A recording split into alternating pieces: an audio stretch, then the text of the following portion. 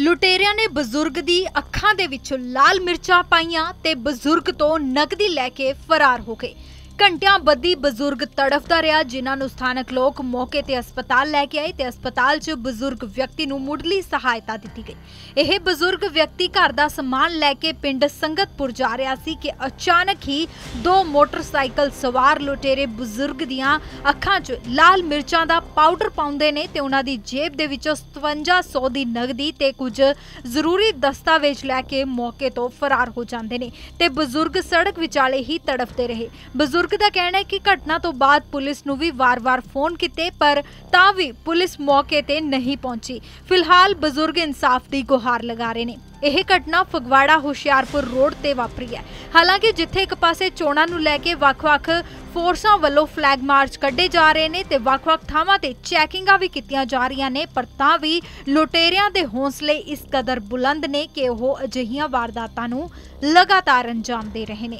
ਜੋ ਕਿ ਪੁਲਿਸ ਪ੍ਰਸ਼ਾਸਨ ਉੱਤੇ ਵੱਡੇ ਸਵਾਲ ਖੜੇ ਕਰਦਾ ਹੈ। ਮੈਂ ਘਰ ਦਾ ਸਮਾਨ ਲੈ ਕੇ ਲੈਣ ਵਾਸਤੇ ਸ਼ਹਿਰ ਤੋਂ ਵੜਿਆ ਆਇਆ ਸੀ।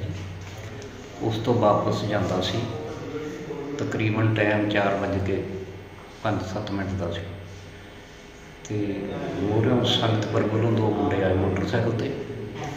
ਤੇ ਉਹਨਾਂ ਨੇ ਮੈਨੂੰ ਰੋਕ ਕੇ ਮੇਰੀਆਂ ਅੱਖਾਂ ਦੇ ਵਿੱਚ ਮਿਰਚਾਂ ਪਾ ਕੇ ਤੇ ਮੇਰੀ ਲੁੱਟ ਖੋਹ ਕਰ ਲਈ।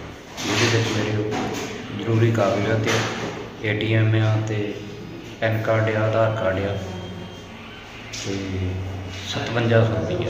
5700 ਰੁਪਈਆ। 57 ਕਾਤੇ ਆਏ ਸੀ ਜੀ ਉਹ? ਉਹ ਮੋਟਰਸਾਈਕਲ ਤੇ ਸਪਲੈਂਡਰ ਮੋਟਰਸਾਈਕਲ ਆ ਜੀ। ਹੂੰ। ਤੇ ਅਹ, ਦੋਨੇ ਮੁੰਡੇ ਸੀ ਉਹ। ਅੱਛਾ ਦੋਨੇ ਮੁੰਡੇ ਸੀ। ਤੁਸੀਂ ਕਿਹੜੀ ਜਗ੍ਹਾ ਤੋਂ ਫੁਆੜੇ ਸ਼ਹਿਰ ਤੋਂ ਘਰ ਕਿੱਥੇ ਜਾ ਰਹੇ ਸੀ?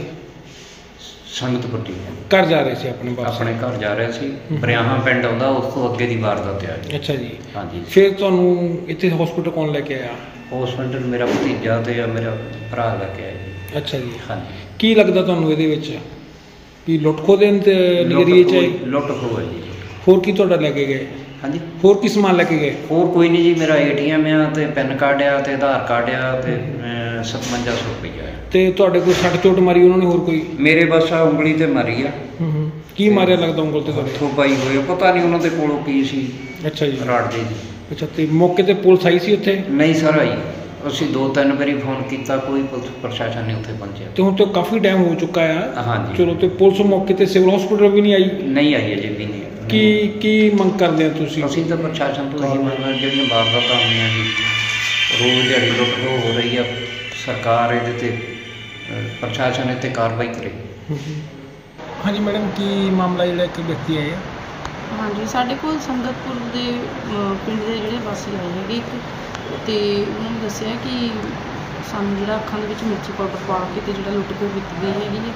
ਤੇ ਤਕਰੀਬਨ 60 ਕੁ ਸਾਲ ਦੇ ਜਿਹੜੇ ਹੈਗੇ ਵਿਅਕਤੀ ਹੈਗੇ ਆ। ਤੇ ਉਹਨਾਂ ਦੀ ਜਿਹੜੀ ਹੈਗੀ ਅਸੀਂ ਜੋ ਵੀ ਬੰਦਾ ਫਸਟ ਏਡ ਦਿੱਤੀ ਹੈਗੀ ਹੈ ਤੇ ਆਈਜ਼ ਦਾ ਵੀ ਜਿਹੜਾ ਹੈਗਾ ਡਿਊਟੀ ਕੋਲ ਸਟਾਰਟ ਕਰ ਦਿੱਤਾ ਹੈਗਾ ਤੇ ਬਾਕੀ ਜਿਹੜੀ ਪੁਲਿਸ ਕਾਰਵਾਈ ਜਿਹੜੀ ਹੈਗੀ ਆ, ਉਹ ਪੁਲਿਸ ਕਰਕੇ ਇਨਫੋਰਮੇਸ਼ਨ ਅਸੀਂ ਭੇਜ ਦਿੱਤੀ ਹੈ ਕਿੱਦਾਂ ਕੰਡੀਸ਼ਨ ਕਿੱਦਾਂ ਲੱਗਦੀ ਫਿਲਹਾਲ ਸਟੇਬਲ ਹੈ ਅੱਛਾ ਫਿਲਹਾਲ ਜੀ। ਸਟੇਬਲ ਹੈ ਬਾਕੀ ਹੋਰ ਕੋਈ ਜਿਹੜਾ ਹੈਗਾ ਜ਼ਿਆਦਾ ਸੱਟਾ ਵਗੈਰਾ ਨਹੀਂ ਹੈਗੀ ਖਾਲੀ ਜ਼ਿਆਦਾ ਸੱਟਾ ਵਗੈਰਾ ਕੋਈ ਵੀ ਨਹੀਂ ਹੈਗੀ।